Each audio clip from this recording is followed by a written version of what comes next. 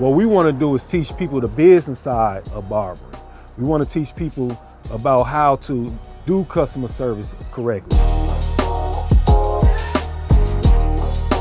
it's kind of chilly out here. Let's go inside. Okay. Is that train? Train all in one?